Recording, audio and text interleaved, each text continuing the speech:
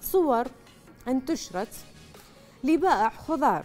طبعا آه، شاب هو. طبعا الصور اللي انتشرت إلى هذا الشاب هو يبكي ويلم بضاعته من الخضروات والفواكه من الأرض. بعد بعد قيام عمانة بغداد بهدم مصدر رزقه اللي هي البسطية باعتبارها متجاوزة.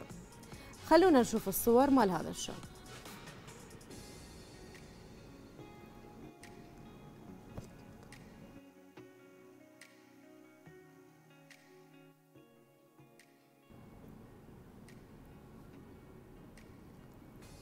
طبعا هذه الصور لهذا الشاب البائع عنده بسطية بإحدى شوارع آه، العاصمة بغداد.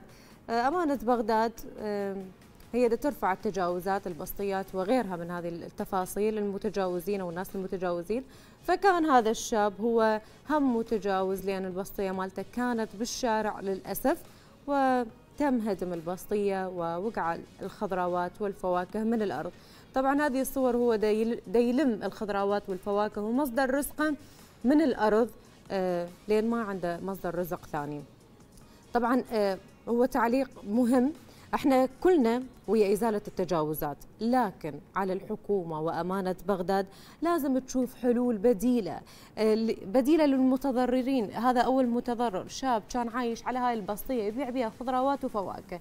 لكن أمانة بغداد آه، بسلسلة آه، رفع التجاوزات كان هذا حال الشاب اللي رفعوا بسيطه